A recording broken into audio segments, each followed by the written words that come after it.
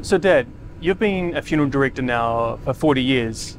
Um, we're talking about cremations here. Does the crematorium have, uh, deal with any smoke or ash issues um, pouring out, like you hear in stories? Yeah, so the, the stories um, are very rare, but of course, when they happen, that's what people hear about.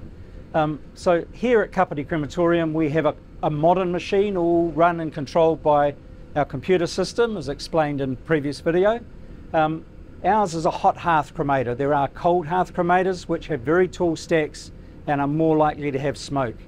Ours, the smoke is drawn underneath and so it's reburned. But sometimes something can happen like someone can be wearing some uh, gumboots or waders or something that's got a lot of smoke ability and they might get a puff of smoke. If that happens, we've got a pollution control system. Let me take you over here. And you'll see up here in the base of the stack, there's a camera on this side, it's protected, and it literally runs through a little hole. It's not a glass, it's just a hole. So if there's any smoke, that would actually puff out, and the camera would pick it up, send it to the sensor. The sensor takes it back to the computer, and the computer then controls it.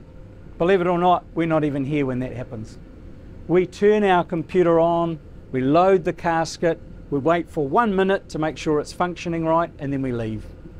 Now, if there's another problem that's greater than that, we also have the system monitored through the states, through the supplier, and they can also see what we can see. And through modern technologies we know, they can jump on remotely and they can take over and open a valve or close a valve if there's an issue. Um, it's a really great system, absolutely clean burning. What comes out of that stack, there is no smoke.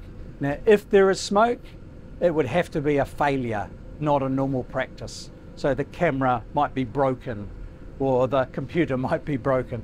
That's the sort of case you hear on the news um, or the media. It's not normal operation. It's a, it's a major issue. What is actually left after the end of the cremation? Is it wood, uh, ash, etc.? Yeah, really good question. What's left at the end? We call what's left in the cremator cremains, not ashes. And so we pull all those cremains forward into a container, like we saw here.